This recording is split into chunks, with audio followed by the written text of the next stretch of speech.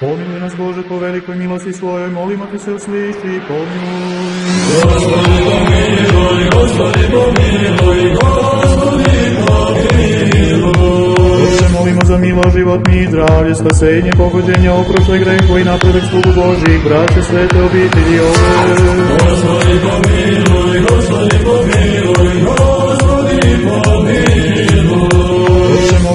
Molimo za milo, životni i zdravlje, spasenje, pogođenje, oprošle grehu i napredak slugu Božih, braće, svete obitelji ove.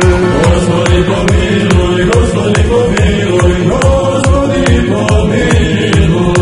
Bože, molimo za svu braću i za sve pravoslavne hrišćane. Gospodi pomiluj,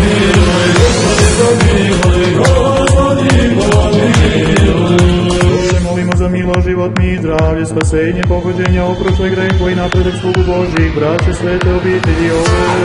Gospodi pomiluj, Gospodi pomiluj, Gospodi pomiluj. Bože, molimo za svu braću i za sve pravoslavne hrišćane. Gospodi pomiluj, Gospodi milostivi čoveku ljubi Bog i tebi slavu uznosimo Otcu i Sinu i Svetome Duhu, sada i uvek i u vekove vekova. Amin.